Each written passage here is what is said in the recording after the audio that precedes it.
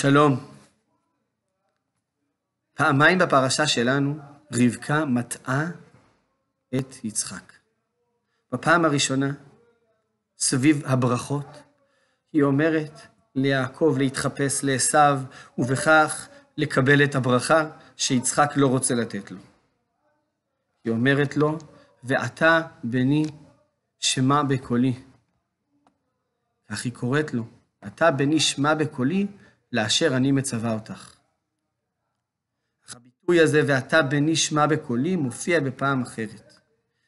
כשהיא אומרת ליעקב לברוח מעשו. היא שוב אומרת לו, ואתה בני שמע בקולי. וזאת הפעם השנייה בפרשה, שרבקה מטעה את יצחק.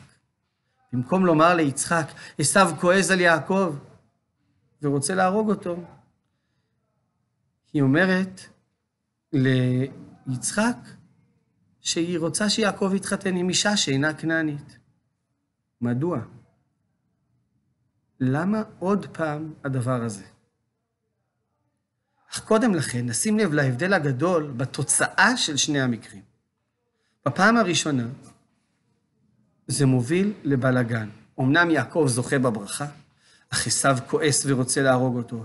יעקב צריך לברוח. יצחק נכנס לחרדה.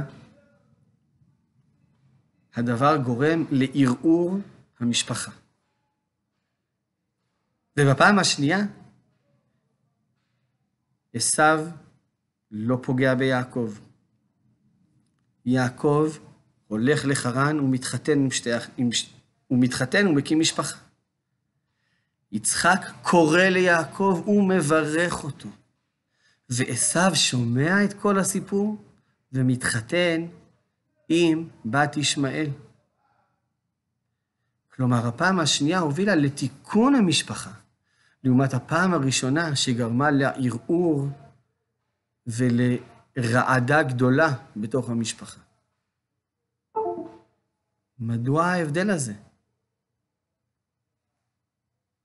נראה לי זה קשור לשאלה הראשונה, למה רבקה לא סיפרה ליצחק את האמת? יש כמה דעות בפרשנים בעניין זה, אך כמה פרשנים הלכו בכיוון שרבקה לא רצתה רכילות.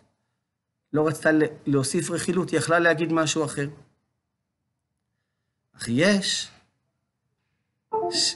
שהסבירו את הדברים בצורה יותר עדינה. רבקה לא רצתה לצער את יצחק. נוסיף ונאמר שקודם כל, בפעם השנייה שרבקה ניגשת ליצחק ואומרת לו, קצתי בחיי מפני בנות חטא, היא אומרת אמת, היא באמת רוצה שיעקב יתחתן עם אישה לא כנענית, ורוצה שיעקב יתחתן עם מישהו משם, מחרן. זאת באמת רצונה. אבל אמנם זה לא המניע כרגע לכל הסיפור של של הבריחה של יעקב, אבל הדברים אמיתיים. אבל כמו שאמרתי, יותר מזה, ייתכן מתוך רגישות ליצחק, לספר לו חצי אמת, ולא לספר לו את האמת הגמורה. אני זוכר שהיינו בישיבת הר עציון, ואחד התלמידים שאל את הרב ליכטנשטיין, זכר צדיק לברכה, למה באמת רבקה לא אומרת את האמת ל... אה, למה היא לא אומרת את האמת ליצחק?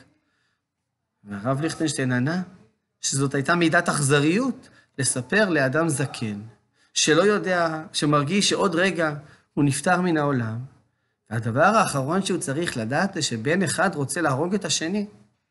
לפעמים, משום דרכי שלום, נכון לשנות, נכון לספר חצי סיפור.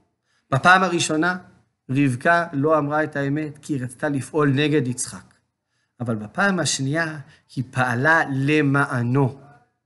ולכן, בפעם השנייה זה הובל לתיקון המשפחה, להקמת בית ישראל, לתיקון המערכת יחסים של עשיו עם הוריו, ולברכה, לברכת אברהם, שתגיע ליעקב.